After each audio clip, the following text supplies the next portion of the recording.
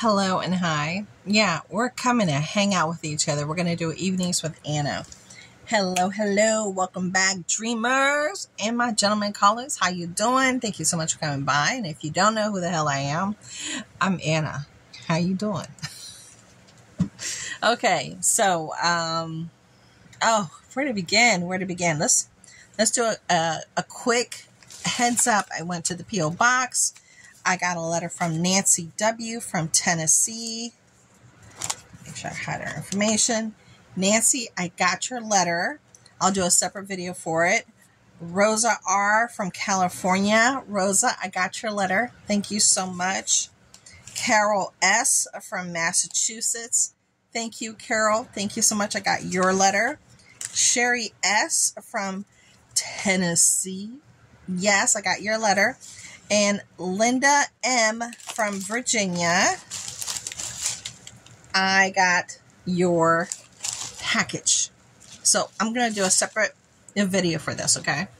So be on the lookout for it. Thank you. I just want to give you a heads up and let you know I got it. I'll probably post something on the community page too. Okay, I will.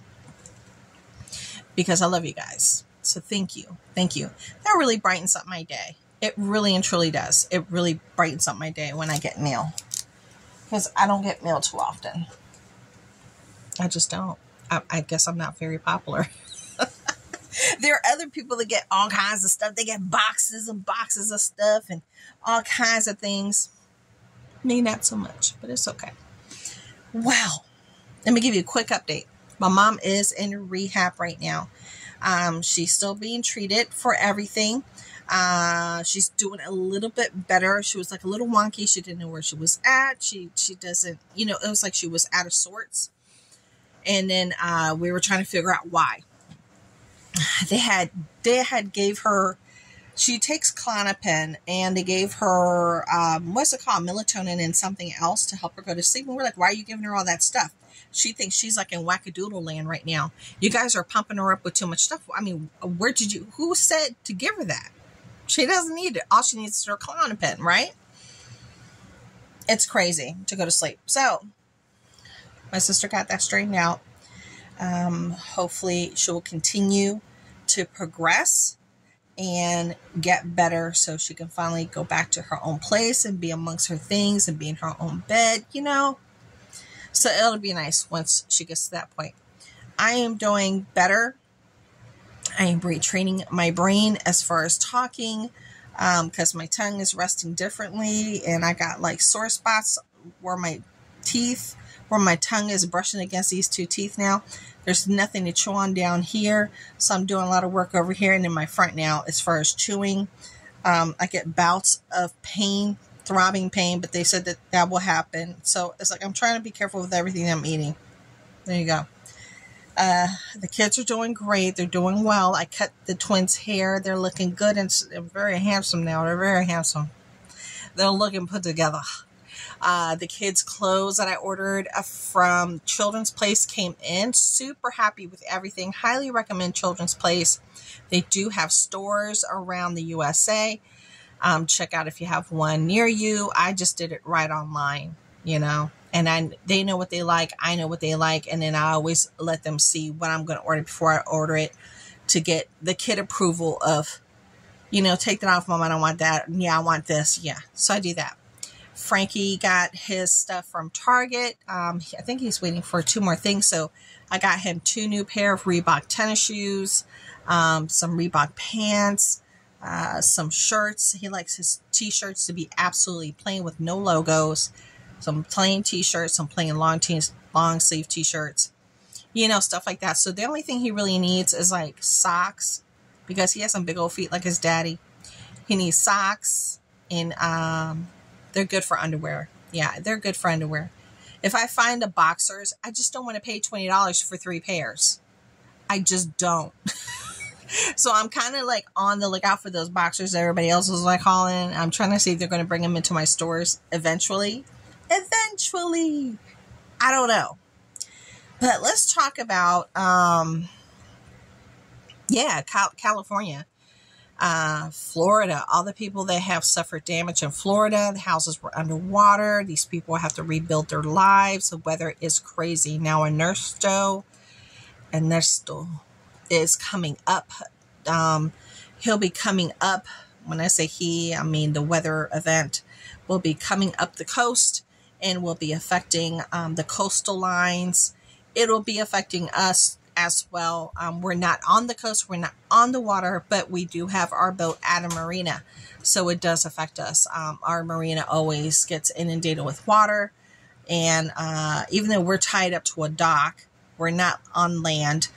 Uh, if it gets, if the water gets too high, that literally you can't even drive your car through there because the water can go up over your car. Um, that's it, it's happened. Uh, the boats that are on the opposite side. See, they have you could park it here, or you could park your.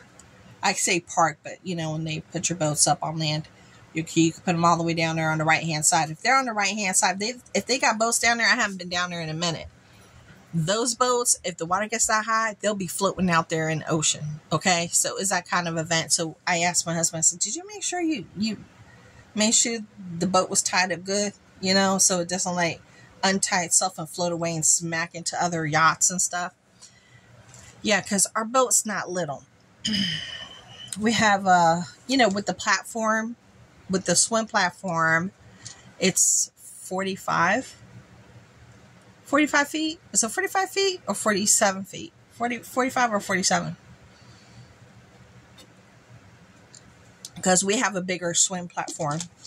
We don't have the standard swim platform like the little small one. We have like a nice big one. So she's a big ums. She's a big ums. And if she smacks into other boats, there's going to be damage. There will be damage. Because she's a big girl. Now, uh, I'm not even going to talk about politics. We're not doing that. We're not talking about politics. We're not. May the best person win, whoever can provide you with solutions for the problems and issues and the things you have concerns with in your life. Whichever person that's running, pick your poison. They're all poison. I see them, I see every politician as a cup of poison and they're all puppets, muppets. Um, they're getting their strings pulled just like everybody else. And you just got to pick the one that's going to make the most sense and it's going to make you the least sick. Whoever that is for you. Doesn't matter who it is.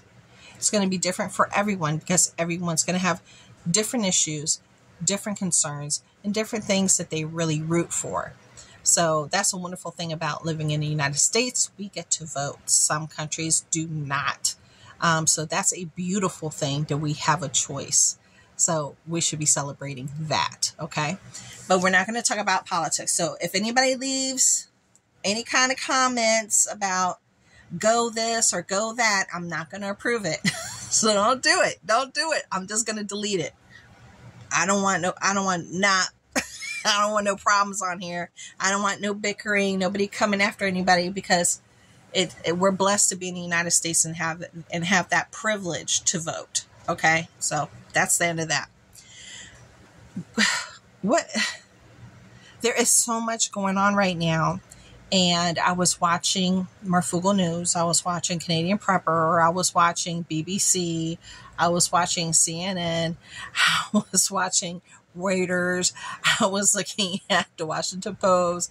I was looking at WTOP. I was, you know, you just look at all kinds of different news, you know, things, and uh, people, certain people have the ability to collect certain types of information from people that are in certain positions that release information so they kind of give you a heads up to give the masses a heads up of what's going on. Um, I was watching, oh my goodness I was watching a uh, Rethinking the Dollar the other day with a gentleman, Burke something, on there, and his channel got a spanking. So now he can't post anything for a week because of that interview. And then I, I in turn, I went and I watched on Rumble. So I was Rethinking the Dollars, RDTV. Then I was watching Gray and um, Alaska Prepper when they were doing their joint um, duo. And then, of course, I watch Alaska Prepper all the time. I just never leave comments to anybody anymore. I just don't. I think I need to start doing that. it's like I'm getting really, really lazy. I have to stop doing that. Ah. So I've been watching like different things, right? Different things. And it kind of gives you like a sense of urgency with everything that's going on across the pond, you know, with, you know, the, and you know, all that. Um, oh my gosh. Yeah. I, I saw, I saw an article on Yahoo. As soon as I went onto Yahoo, the first thing that came up was a family and they showed, uh, the man that had lost the twins, his twins and his wife as he was getting the birth certificates for his babies. Then the next one that came up the next day were three women and all these all these um, folks are in Palestine, and what's happening in Palestine is making me sick. It's making me sick in the stomach. I cry every night as I pray for this this this thing that's happening to them. These people, um, they're not even. A lot of people have disconnected and are just looking looking at them as numbers, as as statistics as statistics. Uh, there's no emotional connection.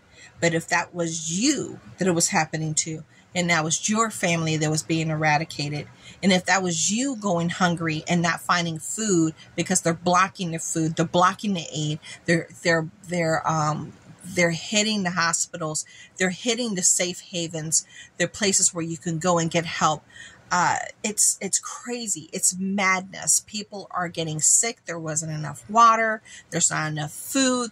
There's airborne illnesses going on now. Uh, people can't bathe. Um, people are using the bathroom wherever they have to use the bathroom. Um, they're they're floating from one place to a, to another with the things that they have on their backs. Uh, they're like nomads in their own space. Uh, what's happening isn't right it isn't right. It I'm saying it. It isn't right. And if you have anything to say against that, I'm not going to approve it. I'm not. I'm sorry. I want to approve it. You can write whatever you want. I, I will read one or two sentences. And as soon as I see something that's insulting or something that's not making any kind of sense, I'm just going to delete it. Okay, I know this is kind of, I, yeah, it is political. I said I don't want to get political, but I am seeing this, and as a woman, as a mother, as a daughter, as a granddaughter, as an aunt, as a grandmother now, I place myself in their position and um, my God, what the hell is going on?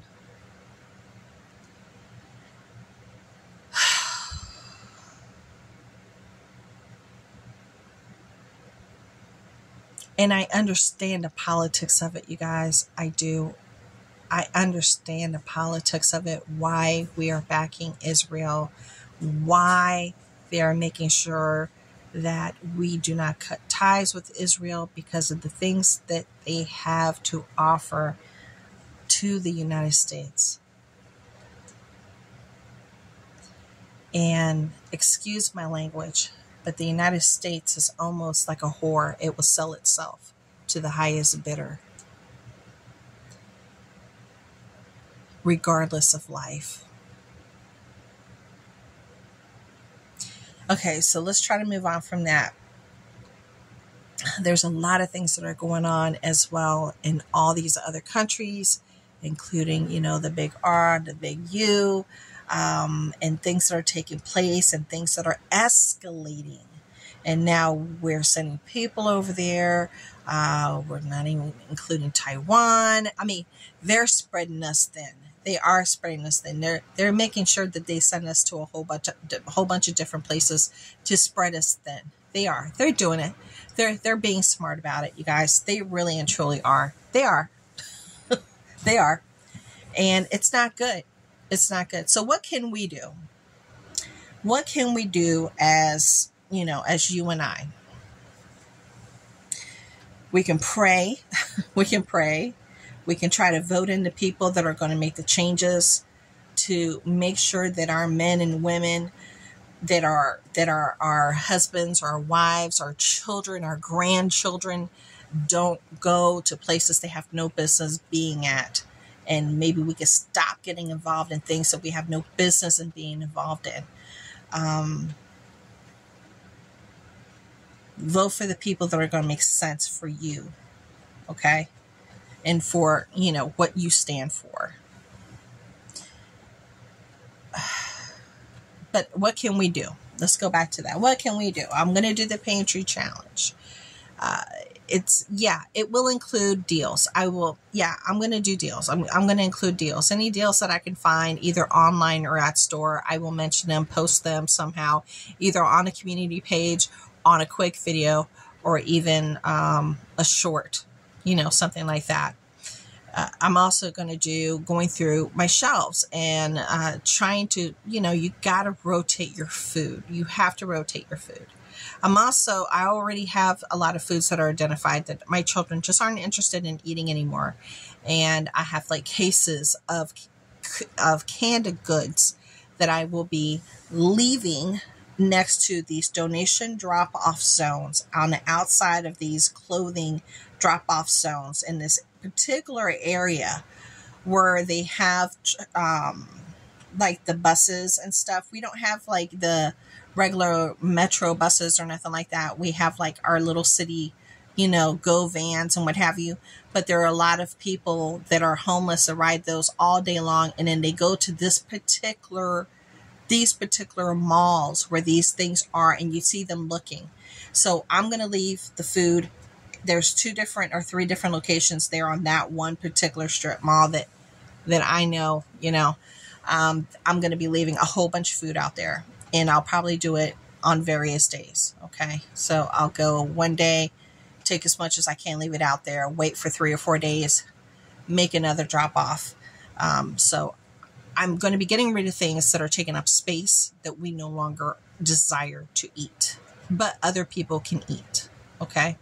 So it's not going to go to waste. Someone will be able to use it and fortify their families with it. Okay. Um, I want to continue to bring things into my home that makes sense for my home. Definitely need to work on that. Uh, I, I have, yeah, no, guilty, guilty as charged. I have stepped down from that. I have put the brakes on that just because I, I was getting overwhelmed. I was getting, you know, when you when you buy things and you buy with fear, that's the worst thing. The worst thing you can ever do. You should be buying things sensibly that make sense that your family will consume when they're on sale, when it actually makes sense financially. You should never panic buy. You should never go shopping when you're panicking. You will make irrational choices. You will make choices that will hurt you financially. And in the long run, you'll shake your head and be like, why in the world do I have that? I'm not going to use it and I'm not going to eat it. I could have used it towards, you know, X, Y, and Z. Every home is going to look a little different. So, people, I have a bunch of videos, including a vlog um, that I post things on there, and I'll I always link it in the in the description box. Okay, and I previously did a whole bunch of really great vlogs on things to buy for different type situations, what's going to work best um, for different types of situations, and things that maybe you never even thought of when buying X, Y, and Z while you're in this type of environment, that type of situation, that type of weather um, situation. Okay. Just it's it's a good way to look at things. Um, if they as we know, the FBI said to Congress and Senate, uh, they had meetings. They put a report. They gave them a report saying they already know that our water and 22 other, you know, large uh, targeted things already are infiltrated. It's just a matter of when they do it, when they make it stop, when they shut the lights off, when they stop making the water run. What do you do? What do you do? every person in your home needs one gallon of water per day One gallon. This one gallon is supposed to help you bathe, drink, eat, and cook. Everything. It's supposed this one gallon is supposed to help supply everything that you need for that one day. So if it's just you, you only need seven gallons of water for one week. If you want two weeks, then do it like that. Um, it's up to you how you want to handle it. Uh, most people will not go through an entire gallon of water per day. They won't. Some people will, and they might need even more. Uh, some people will take advantage of if they have the ability to collect water from outside to uh, use for you know bathing or use for washing clothes or use for uh, feeding your vegetables, your indoor garden, your your hydroponic system that runs off of water. Every situation is going to be different. Every household is going to have different things on their shelves. What's on my shelves, my sister would never have. They have different health conditions versus what we have. They have a very strict diet and they know what they can have without making themselves sick. So, you as an individual have to take responsibility of getting those things that you know that you can have which will not make you sick. Okay? And just give yourself a goal. Give yourself a goal. Say one week's worth of backup meals. One week. After you do the one week and you're like, oh, I got one week's worth. I bought an extra can of this. I bought an extra thing of spaghetti. I bought an extra thing of canned sauce. I bought some canned meats. I bought some canned fruit. Can oh, let's talk about canned fruit and tomatoes. Okay. Just a little ditty here. Canned fruits and tomatoes are very high they're highly acidic. They're highly acidic. So if you can buy them in jars, glass jars, really good. If they're in cans, they will eventually eat through the can because their acidity. So just be aware, those are not the long term type of foods. Fruit, canned fruit, and tomato. Um, they just don't last that well in a canned item. They last a whole lot longer in a glass jar. They will in a glass jar.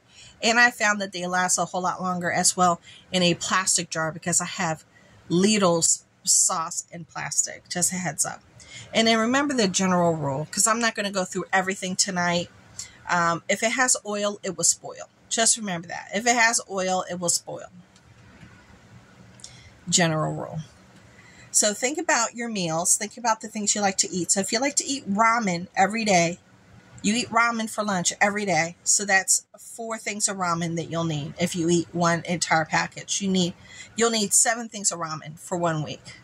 What do you have for breakfast? Oh, you have oatmeal. Okay, so you need how many packets do you need? One packet a day, seven packets of oatmeal.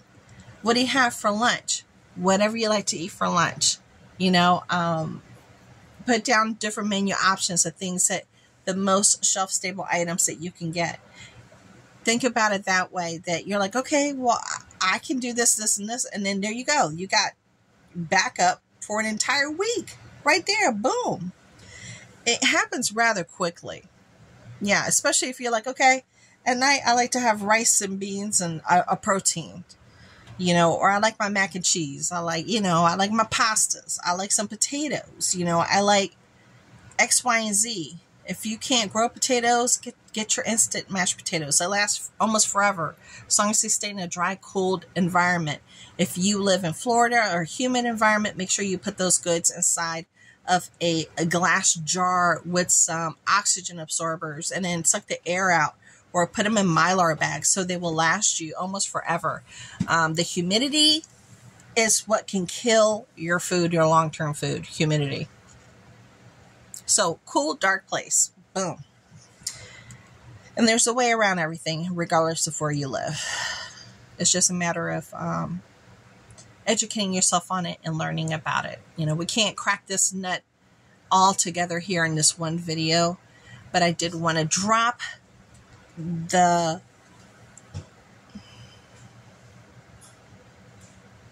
I don't want to say urgency, but everybody sees what's happening, and uh, we should we should be preparing for whatever may come, regardless if it's loss of life, loss of the main income winner. Um, I remember my husband had a heart attack. We were living off of our preps like no one's business, all the way down from food to toilet paper to cleaning supplies, honey. We were living off of our supplies because he is a main income winner. Okay, okay, okay. Yeah, so they're there for you when you need it. And the worst thing that can happen is that, heck, you you're set, and an unexpected bill. All of a sudden, you got to get a new engine, a new transmission. Your roof is leaking. You know, a big bill comes in out of nowhere. Guess what? You could probably take care of that bill while you're living off of what you've been preparing for, which is an unexpected event because you're already hooked up. You took care of it. Well, that's it, you guys. Uh, just wanted to come in here and talk for a minute, and I'll talk to y'all later. Bye.